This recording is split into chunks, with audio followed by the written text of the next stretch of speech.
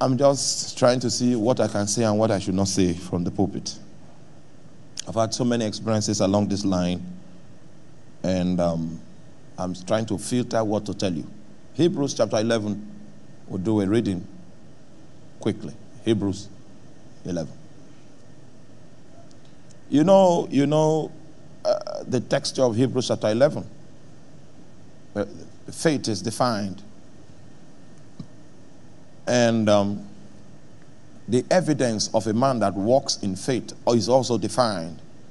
He said, By faith, the elders obtained a good report. That means if I walk by faith, are you with me? My life will produce a will produce results, will produce manifestations that my generation will acknowledge that indeed this man knows God.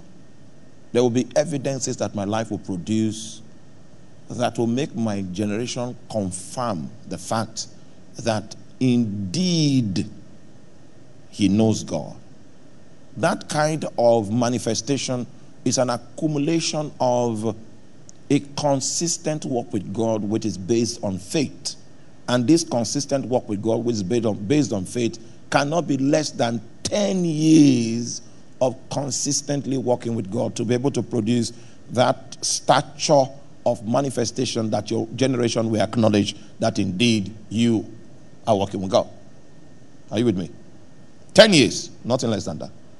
And these 10 years, I got it from two significant church leaders. One of them is Archbishop Benson Idahosa. He, he told us about 10 years that if you can model the life of faith, uh, you are entrenched in your convictions for 10 years and you are making deliberate effort on a daily basis to navigate towards the direction that God has pointed out to you. In 10 years' time, your life will produce a result that your generation will reckon that indeed it was God you were working with.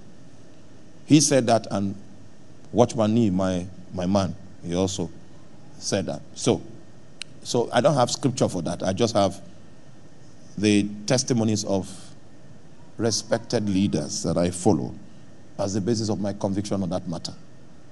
And in my own small life, you know, my life is not too big, it's very small, very modest, very humble. You know my story. Um, any need for me to tell you, my, you know my story. Well, in order for us to begin to do the big things that we have started doing, it took us 12 years of working consistently with God over and against obvious contradictions. And those of you that know our humble background, you know the things we had to face. We had to be mad people to believe the things that God has told us in the face of the circumstances that we had to face. Um, in the last conference that we had in the month of November, some our pastors in Ghana made their way to the tent. And they seemed to recognize the tent because they've been watching it from Ghana and they felt that place was a big place. And when they went there, they see Jesus. This is where this man has been preaching all these things. So they, they laid on the altar, especially an impartation. Because it's not reasonable for you to believe that anything good could come out of that place. If that is the place, then something more than a drug. God injected us with something more than COVID vaccine that made us believe that. it took, it took, before we started doing the big things, it took 12 to 14 years. So I can concur with the statement of the elders that it will take about 10 years. Do you know the opposition we faced in that place? I know some of you know, most of you know. It's, yo, man, you need to be crazy, drunk with the Holy Ghost for you to believe. Most of you give up too quickly, and that's why your life doesn't produce a good report. So we have come, we have brought you to a clinic where we inject people so that you can be crazy, crazy for the Holy Ghost, crazy enough to believe the things that God is putting before your face. And when God really wants to get you convinced, He knows how to visit you in your dream. When you are powerless in your dream, He will show you the pictures one after the other. Because if he were to come in the natural to show you, we argue. So he knocks you off. Just like he knocked Adam off before he, he did the surgery that produced Eve. If the guy was awake, he would have contended. So he knows how to do it. You remember Zechariah? The angel was telling him about several things that God had determined to do And the guy was asking too many questions. It was obvious that Zechariah was going to use his mouth to contend with what God wanted to do. So just be dumb for now. So many times God will put you to sleep so that you will not have any ability to interfere with the things He wants to show you. And He will keep showing you until what He's showing you distills into your soul. And there is nothing, no contradiction in the natural will be strong enough to contend with that which has found place in your inner man. God had to inject us again and again. It took like 10 years. I was asking some of our brothers that came from the United States, you know what it means to travel from the United States to come to Makurdi? We don't have an airport. Oh.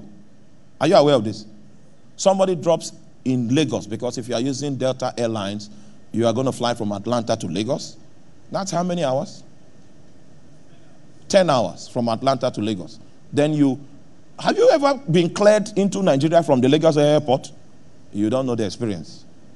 Then you finish with that, you take a hotel, stay, sleep overnight, take a flight to Abuja, and then begin a four, five hour journey to come to Benue State. You need to be injected to be able to do that. So I, I got all the guys from America into my office. I said, okay, why are you here? What happened? And each of them began to tell their stories and you know, I was doing an, an analysis from all the stories that were coming, all the feedbacks that were coming. And um, guys from Canada, do you know?